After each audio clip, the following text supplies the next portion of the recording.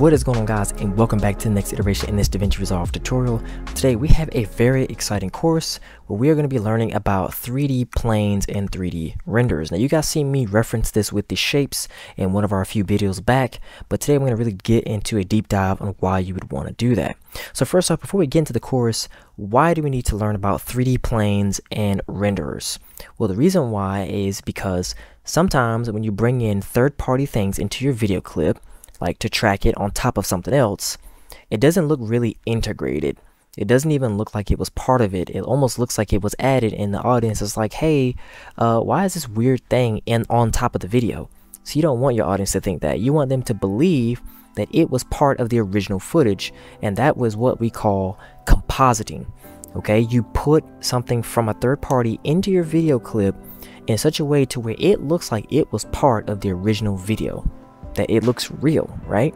So this is going to help you with compositing and it's going to make you be a significantly better editor. All right, now let's go ahead and jump into the software and let's get our hands dirty here. So here we have a video clip that we're going to be working with, which is of this woman looking at this green screen, um, you know, laptop with some tracking dots on here and obviously we're going to need to track those dots.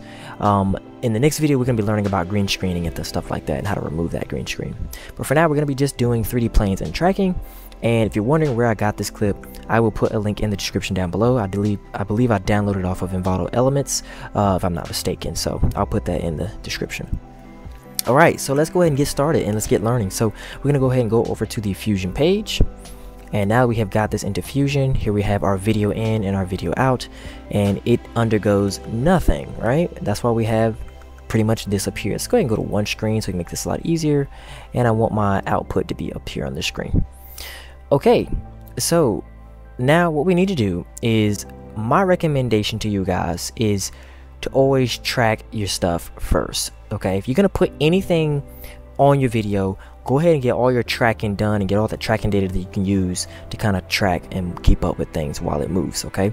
Let's watch the video right now. You'll see that this does move quite a bit so it's kind of shaky and uh, you'll see that um, it, it's not going to be it's going to be an easy video clip to track because of those tracking points on it okay? That's why having those are really nice and if you're ever making a movie and you know you're going to be tracking something uh, the best rule of thumb is to put tracking points on whatever you want to track. It will help you later in the end and you'll have the edit in mind when you're shooting and it'll make you significantly better. Alright now let's go ahead and get this going. Let's get this show on the road. So let's go ahead and bring in our tracker. So I'm gonna go ahead and click on the media in I'm gonna hit control and then space on the keyboard. And as you can see I already have my tracker here. I'm just going to type in tracker. We're going to hit planar tracker as we learned in our previous video. And then while we have that, we need to pick these points, okay? So I do want to track, obviously, this uh, laptop screen. So I'm going to put a point like up here. I'm going to put a point down here. Cool thing about screens is they're very, you know, uh, symmetrical so it's really easy to track them. They're not like irregular shapes and you don't have to use so many tracking points to get it going okay? And then we're gonna go ahead and click on that and now we have our selection. Very nice. There we have it. Now we're gonna go over to here to where it says um, track forward. So we're gonna go ahead and hit track forward and as you guys can see it is now tracking our video clip forward so while it does that you can actually see those points are really saving this clip uh, significantly right you guys can see how it's kind of sticking to that that's why having those crosshairs is actually really, really nice. So I'm actually going to zoom out a little bit so you guys can see that it really is in fact tracking. So if we go back by using our playhead right here, by clicking on and dragging it to the back, I'm going to hit play.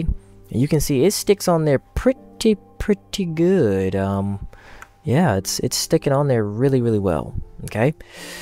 All right, so we're to go ahead and bring this back to beginning. And oh, now that we have this tracking data, let's go ahead and go over to our create planar transform and let's go ahead and take that data and let's just kind of put this up here somewhere. Okay. All right. So now that we have this tracking data right here, we want to actually track something on top of it. So we're to just pull some text in right now. This is to be really, really nice. And uh, actually, before we get that, let's go ahead and bring in a merge node to put that on top of everything. And let's just see where our text lands right now. So let's go ahead and type in um, test. All right, let's kind of do that. And let's move our test to the middle here. Let's make it a little bit bigger. Kind of like that. And we want that on the middle of our screen. Okay? Now, the natural inclination is to take this text and run it into your planar transform and merge it back in on top of everything and then you're good, right? All right, let me show you guys what, what's wrong with it and how it will look. Okay, let's go back to the software real quick. So we're going to take this and do what, like I said, the natural inclination is to put it, oh yeah, here, put it into our tracking data, right? And then put it on top of our video. Boom, there it is. And watch it. You watch it and voila la. It's working, right? It's working. It's it's stuck to the screen. Okay, yeah, we did something. All right, let me show you guys what's wrong with that. You guys see this word test? It doesn't quite sell to me because if you notice, this test is like flat, okay? It's flat. But the, the laptop, if you notice, if you look back at the laptop, the laptop is at an angle. You see that? You see how the perspective is different? So it's at an angle. So how in the world are we going to get our text to be at an angle or be in the same perspective of our laptop. All right, this is where the 3D plane comes in. Let me show you guys what we're gonna do. Okay, so first off, we're gonna make our our take. Let's just disconnect all of this. You know, let's not delete anything. Let's just disconnect. Let's put our tracking stuff over here for a second. Okay, and we don't need this over here either. Let's just kind of put this down. Let's make this a little neater, neater and let's just put this down here for a second, okay? So right now we're just focusing on text. What we need to do is we need to get this text to be in the same plane or the same perspective as our laptop screen. So how do we do that? Well, now we're going to go over to some of these crazy 3D tools that we talked about early on in the introduction of this section of the course. You see what it says image 3D plane or plane 3D? Go ahead and bring that in, okay? Don't get afraid when you see the word 3D, guys. Don't freak out. I got you, okay? I promise. It's not too bad. And remember, anytime we do, you know, a 3D thing, we need to have some type of 3D renderer as well to put that onto the screen. So we're to need both of these, okay? Why are we using a 3D plane? What are we doing is basically taking the text, and it's almost like we're putting that onto a plane, okay? And then we're to control where that plane is to be, you know, the 3D axis of it, okay? So it's to make a lot of sense when we get in here. All right, now let's get in there and let's take a look at it. So now we're to go ahead and connect this to our image plane 3D. We're to connect our image plane 3D to render it so that we can see it. But actually, you're probably wondering, well, why, why don't I see anything up here? Well, that's because we didn't connect it to our output. So if you disconnect this and we plug this into our output, boom, now you can actually see our text. Okay, you guys see that? You guys picking up what I'm putting down? And if you want that to be on top of everything, you guys already know the drill. Put our merge back into our output right here. Okay, and then we're going to connect that into our merge so that all that 3D stuff is on top of our video. Okay, so let's kind of move this around, move this around, and voila. Now we have a little bit of a neater uh, setup here. Okay it is now in a 3D space. So we can actually do a lot of cool 3D things. So we can do that by simply clicking on the image plane 3D. So let's go ahead and do that. So if you click on your image plane 3D right here, okay, you go up here to the top right corner, you see it says transform, click on transform. All right, you see how you got this little graphic here? You don't need any materials or anything like that. You know that that's some other 3D stuff we'll talk about in a far distance in a in a video not near you. but um, what we're gonna do is go over to um, rotation okay? And you know what? Let's go ahead and learn about all these. Translation is really cool. This translation actually corresponds to how close it is to the camera and how far back it is I believe. So let's go ahead and do that. Yeah that's exactly you see how when I move this number up when I click into this space and then drag to the right you see how this kind of goes almost to the point where it gets so close to the screen that it it passes our camera. That's exactly what it is. It's getting so close to the screen, just like it is in real life. Imagine in real life, my hand is so close to the screen, and then all of a sudden, boom, it passed the camera. So the same thing is what's happening here in DaVinci Resolve with this image plane 3D. It put the text on a 3D plane, so now we can actually do a lot of things with it, okay?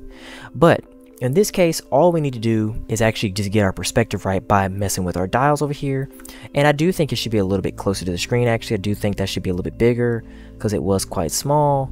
Then we're going to go over to rotation, okay? And we're going to fix our rotation a little bit.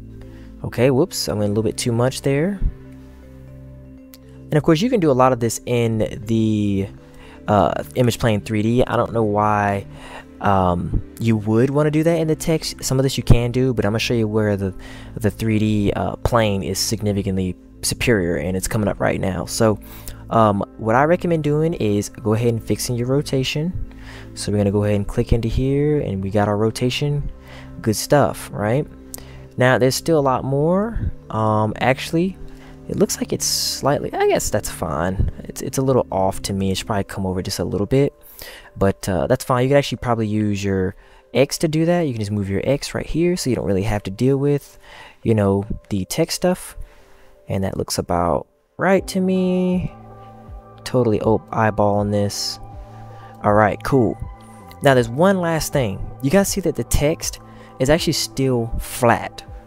So this is where the rotation comes in on the y-axis because we're on the y-axis now. We're going to turn this text around the y-axis, okay? And so we're going to rotate the text around the axis. And then you have your x. You could also take your text and then tilt it back and forth as well on the x-axis, okay? So just want to make sure you guys get that.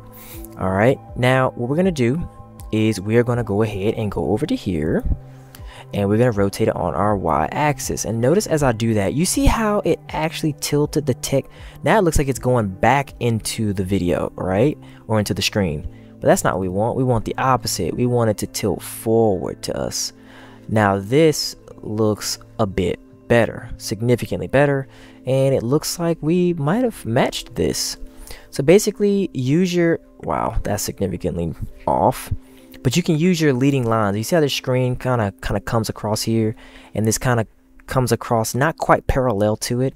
So you basically want to get that as parallel as possible.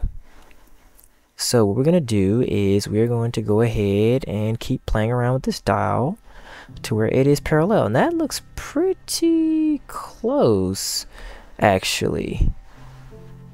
And then we're going to mess with this. We're going to fix our rotation. And voila, we now have a test text on the screen. And you know what's happening to me? Is it just me or is it the longer I look at the word test and the more wrong it looks? So your eyes start doing all this kind of crazy stuff when you're doing uh, effects and all kinds of stuff. You, your eye and your brain actually starts to compensate.